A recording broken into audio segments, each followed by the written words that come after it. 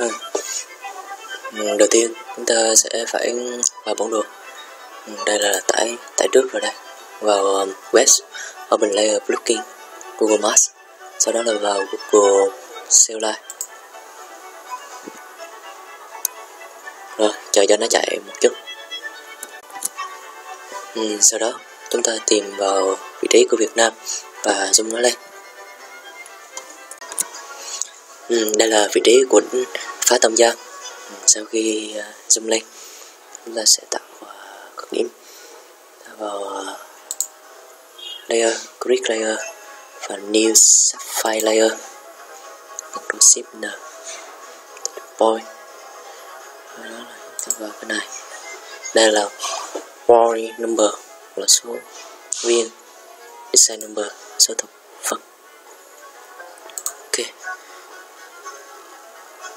ta lưu lớp ta sẽ lừa nó là trong thư mục. Và một thư mục nào đó uhm, ừ. abc đi. Rồi ta lưu đây là điểm. Rồi.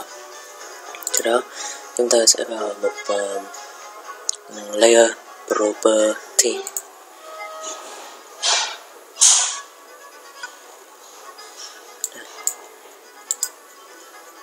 Bớt vào đây là chúng ta chọn hệ tọa độ vào đây. Chúng ta chọn ờ, cái này. Này, không có thì vào filler để tìm kiếm. Ừ. sau đó là, ok. Ok, rồi, chúng ta sẽ tạo điểm. Cái đó chúng ta sẽ tạo điểm. Bằng cách là vào cái bút này. Vào cái đây. Chúng ta sẽ tạo ờ, 20 điểm. Rồi, đánh vị trí số 1 hai tương tự. Uhm. sau khi tạo xong điểm chúng ta sẽ nối đa giác lại. À, chúng ta sẽ vào layer grid layer như này và polygon tạo đa giác. Ta sẽ tạo lại gọi là um, oh.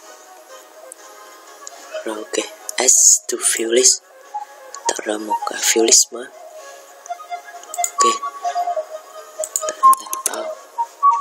Ở trong này luôn sau đó chúng ta khai báo dưới lại hệ tọa độ vào đây. Ghi như lúc nãy rồi.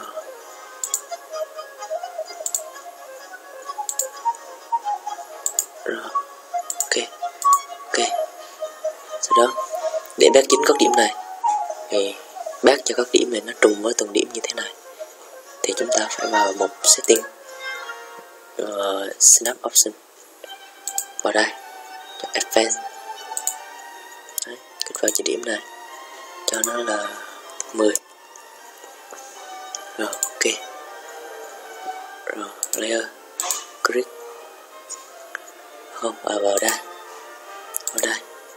Đấy hiện tới khi là có dấu cộng màu hồng à, nó đã chính xác là nó đã bác chính điểm còn nếu như mà không có dấu cộng hoặc hồng là bác ra ngờ là nó sẽ, khi ta dùng lên là hai điểm này nó sẽ không trùng nhau.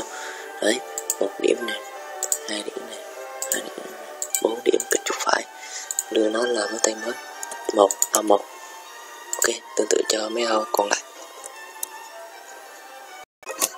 Sau khi tạo xong, chúng ta sẽ tính diện tích cho ao bằng cách đưa chuột vào đây. Đấy.